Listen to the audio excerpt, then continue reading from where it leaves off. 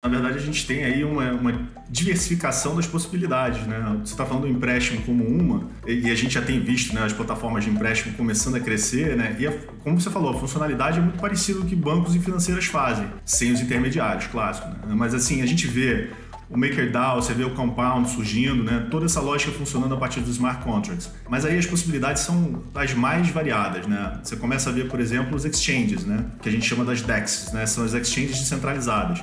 Corretora, né? basicamente possibilidade de você negociar criptomoeda no modelo peer-to-peer -peer sem intermediário sendo feito por algoritmos, sendo feito por smart contracts. Também crescendo bastante, né? Exemplo de DEX, né? Da Uniswap, né? Que funciona como Uni, né? O PancakeSwap, que é a Cake. E fora as próprias... Você falou isso também, né? Stablecoins. Funciona dentro de uma lógica muito similar, né? Você ter os contratos fazendo essa... essa esse pareamento com algum ativo, né? As pessoas pensam muito em ouro e prata, né, como principal ponto para você buscar algum grau de estabilização, mas na verdade o que tem pego mais no mercado, tem funcionado mais, é justamente quando você pareia essa cripto com algum tipo de moeda fiduciária. É isso que está crescendo para caramba no mercado e que está chamando a atenção dos reguladores. Estou falando aqui quando você faz o pareamento com dólar, com euro, com real. O Tether é talvez o maior dos exemplos, né? USD Coin também grande exemplo.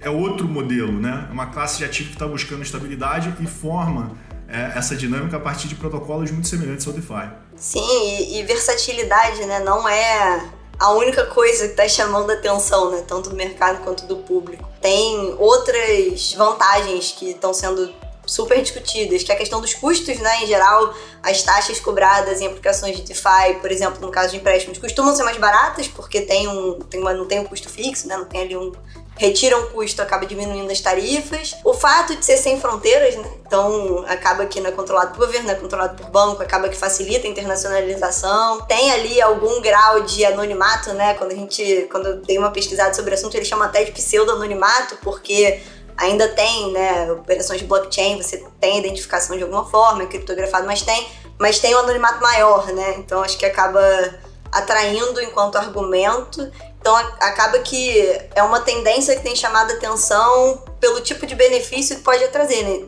Em geral, quando fala em menos custo, internacionalização, maior possibilidade de privacidade, ainda mais hoje em dia, é, acaba que dá para entender por que, que os usuários estão estão respondendo, né? Essa inovação que tem aparecido e crescido nos últimos dois anos, muito mais em 2021 até. E olha, já que tem tanta novidade para acontecer em 2022, não se esqueçam de se inscrever no canal e ativar o sininho.